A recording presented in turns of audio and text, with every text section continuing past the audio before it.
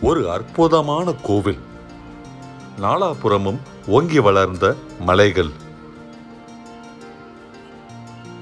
எங்கு பார்த்தாலும் பச்சை பசுமை. சுற்றிலும் வயல்வெளிகள் அழகான பசுமை காடுகள் ஏன் ஒரு அணையே இருக்குது? இது எங்க? இது என்ன கோவில்?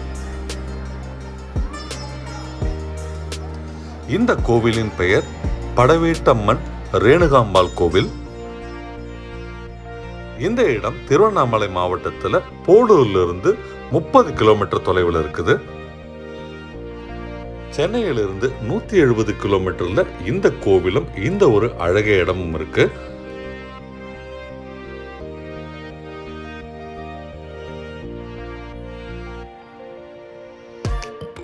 மிகவும் சக்தி வாய்ந்த அம்மனாக கருதப்படும் ரேணுகாம்பாள் இந்த ஊர்ல இருக்கிற படவீடு அப்படின்ற இடத்துல இருக்கிற கோவில்ல குடியிருக்கிறாங்க. வேலூர்ல இருந்து திருவண்ணாமலை போற வழியில ஆரணியிலிருந்து முப்பது கிலோமீட்டர் தொலைவில் சந்தவாசல் அப்படின்ற ஒரு இடம் வரும். அங்க இருந்து தனியா ஒரு சாலை பிரியுது. இதுதான் அந்த சாலை. இந்த சாலை ரொம்ப ரொம்ப அழகா இருக்கும். இந்த சாலை கடைசியா போய் சேர்ற இடம் ஏகே படவேடு அதாவது அம்மன் கோவில் படவேடு. இங்க இருக்கிற அம்மனை படவேட்டம்மன் சொல்றாங்க. ரொம்ப ரொம்ப ஃபேமஸான இந்த கோவிலுக்கு நான் என்னுடைய குடும்பத்தோட இன்னைக்கு சாமி கும்பிட வந்திருக்கிறேன். நம்ம தமிழ்நாட்டில் இருக்கிற வடபகுதியில் இருக்கிற பல லட்சம் குடும்பங்களுக்கு இந்த கோவில் தான் குலதெய்வ கோயில். இங்க இருக்கும் அம்மன் ரேணுகாம்பால் தான் குலதெய்வம். வார வாரம் பல்லாயிரக்கணக்கானோர் இந்த கோவிலுக்கு வந்துட்டு போறாங்க. ஆடி மாதத்துல பல லட்சம் பேர் இந்த கோவிலுக்கு வாரா வாரம் திரளுவாங்க. பல்வேறு சிறப்பும் வரலாறும் கொண்ட இந்த கோவில் இப்போ ரீசண்டாக நம்ம தமிழக அரசு குடமுழுக்கு செஞ்சுருக்கிறாங்க. இந்த இடத்திற்கு படைவீடு என்று பெயர் வந்தது எப்படின்னா இந்த இடம் சம்புவராயர் மன்னரால் ஆளப்பட்டது. சம்புவராய மன்னர் சோழர்கள் ஆட்சியின் குடையின் கீழ் இந்த இடத்தை ஆண்டு வந்துட்டு இருந்தாரு. இந்த இடத்துல படை வீரர்கள் எல்லாம் தங்கி இருந்ததுனால இந்த இடம் படை வீடு என்று சொல்லப்படுகிறது. அதுவே மெல்ல மருவி இன்று படைவீடு என்று இந்த இடம் அழைக்கப்படுகிறது.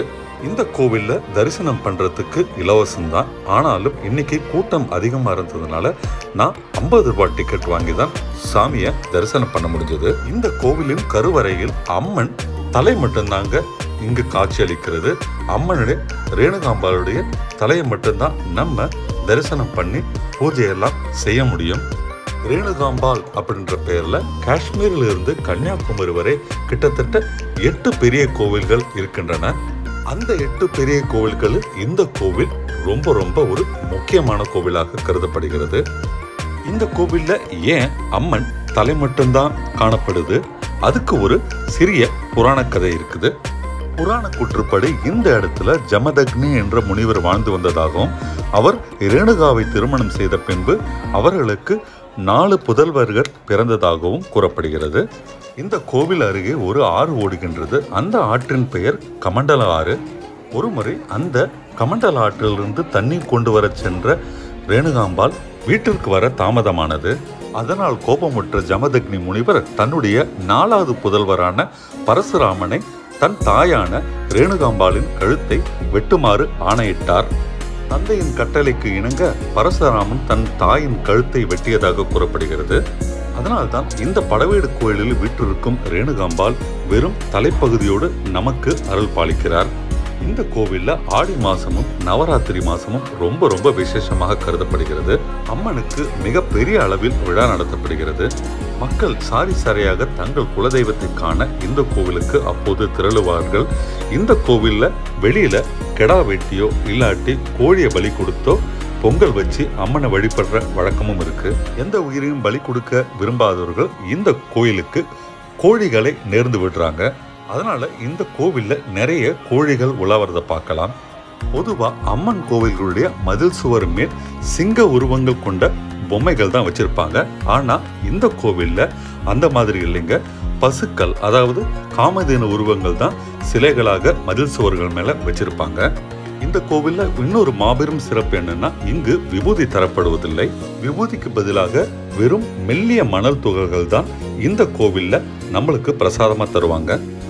இந்த கோவில் அருகே ஜமதக்னி முனிவரின் ஒரு சின்ன கோவில் இருக்குது. ஆணி திருமஞ்சனம் செய்யும் போது அந்த சிலையின் கீழ் கிடைக்கும் மண்ணை கொண்டு தான் நமக்கு இங்கு விபூதி பிரசாதமாக தருகிறார்கள். இதுல மேலும் ஒரு விசேஷம் என்னன்னா இந்த மண் எப்பொழுதுமே அங்கு கிடைப்பதாக சொல்கிறார்கள்.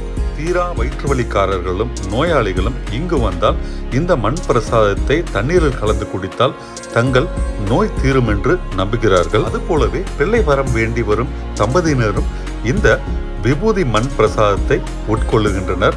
அது தங்களுக்கு குழந்தை வரம் தரும் என்று நம்புகின்றனர்.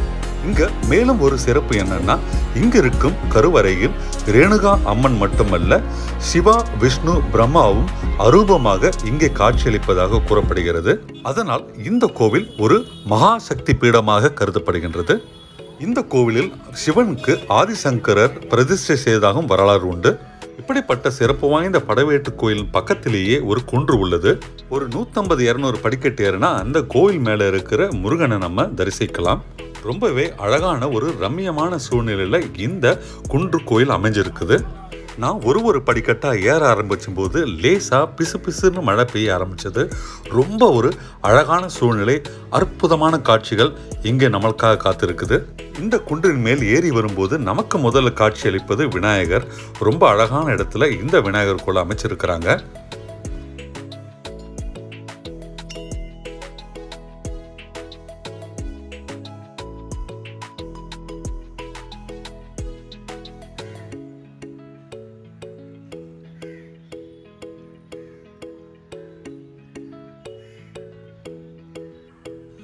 ஒரு ஒரு படிக்கட்டாக ஏறும்போது காட்சிகள் நம்ம கண்ணை கவர்ற அளவுக்கு ரொம்ப ரொம்ப அழகாகவும் பசுமையாகவும் இருக்குது. நீங்களே ஒன்று ஒன்றா பார்த்துக்கிட்டே வாங்க.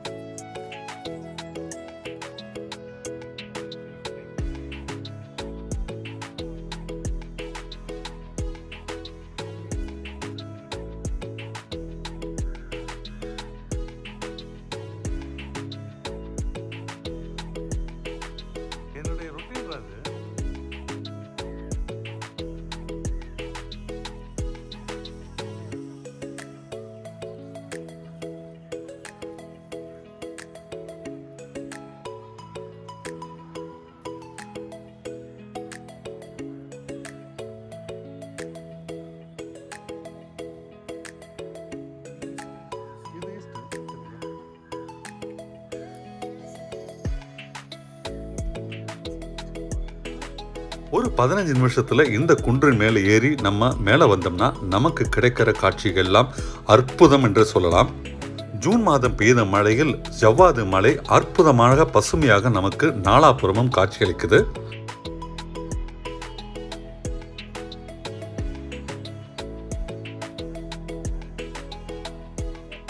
சுற்றுப்புற காட்சிகள்லாம் பார்த்த பிறகு சின்னதாக படி அது மேலே ஏறி போனோம்னா நமக்கு முருகன் கோவில் தெரியுது.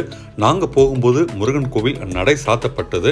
ஆனாலும் ஜன்னல்கள்லாம் திறந்துருக்குது. அந்த ஜன்னல் வழியே நாங்கள் முருகனை தரிசனம் பண்ணோம்.